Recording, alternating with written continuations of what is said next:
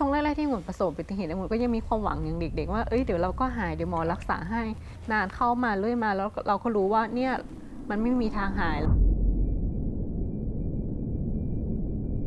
ทำไมเราเป็นอย่างนี้ทำไมเราทำอะไรไม่ได้ แล้วเราจะอยู่ต่อไปยังไง ถ้าเกิดเราจมอยู่กับเรื่องของตัวเองค่ะ มันก็กลายเป็นความทุกข์ แต่ถ้าเราออกจากตัวเองไปว่าเฮ้ยเราอยากทำอย่างนั้นอย่างนี้องุ่นก็รู้สึกว่ามันเป็นโชคดีค่ะ ที่เราค่อย ๆ พยายามต่อสุข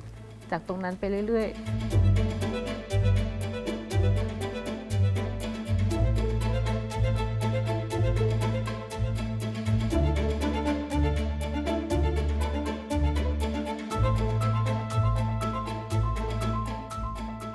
ตอนต้นปี 56 ก็เลยรู้สึกว่า เอ้ยต้องไม่ได้เราต้องหาอะไรทำให้ตัวเองก็เลยตั้งเป้าใหม่ก็เลยลองไปเที่ยว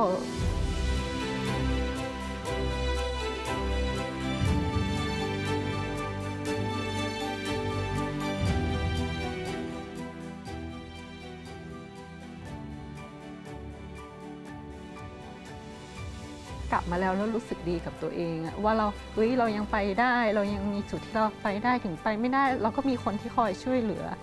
มันก็ทำให้พวกหนูรู้สึกว่าเอ้ยการเดินทางเนี่ยมันให้ของขวัญที่พิเศษได้เดินทางมากขึ้นทำอะไรคิดที่คิดอยากทำก็ลองทำที่เขียนหนังสือไว้ก็ลองมาปรับเปลี่ยนเริ่มใหม่ทำเป็นหนังสั้น แล้วก็มันก็ค่อยๆ ได้ตอบกลับมาเรื่อยๆ เหมือนตรงนั้นเป็นสตูดิโอเก็บ บันทึกความทรงจำของเรา แล้วก็แบ่งปันให้คนอื่นได้ด้วย 3 2 1แอคชั่นแล้วเราก็มาถึงที่เกาะทะลุแล้วโอ้ยทุลักทุเลนิดหน่อยก็เป็นเกาะธรรมชาตินะสองปีแล้วกว่าที่เราจะได้กลับมาพิเศษเพิ่มเติมด้วยพาทีมงานรายการทำอะไรก็ทำมาร่วมด้วย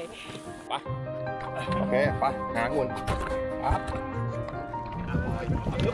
กิจกรรมที่น้องเคยทำและชวนผมมาทำในวันนี้เนี่ย ผมก็ยังอึ้งๆอยู่นะครับนี่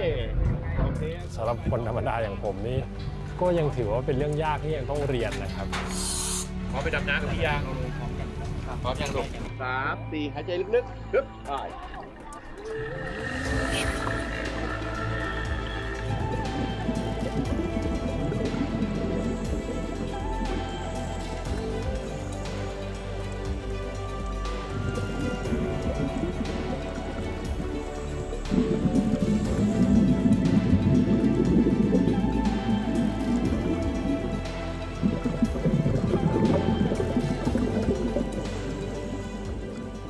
จริงๆ แล้วการเดินทางทุกครั้งมันคือประสบการณ์ อุปสรรคในชีวิตเนี้มันคือบทเรียน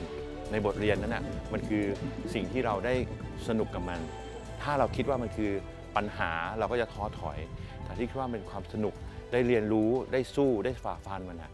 นอกจากเราจะได้เติมเต็มความฝันของน้องแล้ว น้องเองก็ได้สร้างแรงบันดาลใจ เป็นแรงผลักดันให้เราได้ทำสิ่งที่ดีๆ ออกไปได้เหมือนกัน คิดว่าถ้าทุกคนใจสู้เหมือนน้ององุ่น ทุกคนทำได้แน่นอน เขาน่าจะเป็นเหมือนกับตัวแทนของคนรุ่นใหม่เนาะที่ติดตามเขาอยู่ โดยเฉพาะคนที่อาจจะมีปัญหาอุปสรรคอะไรเงี้ยเหมาะดูน้ององุ่นเป็นตัวอย่าง ขนาดเขาลำบากขนาดนี้เขายังแบบไม่ยอมแพ้เลยเขายังมุ่งมั่นตั้งใจทำสิ่งที่ที่เขารักทำสิ่งที่เขาเขาเป็นเป้าหมายในชีวิตเขาให้สำเร็จ มันเป็นความสุขง่าย ๆ ที่เกิดขึ้นว่าเอ้ยคนอื่นที่อยากจะไปเที่ยวอะก็มีข้ออ้างให้ตัวเองในสิ่งที่ยังไม่ทำทำไม่ได้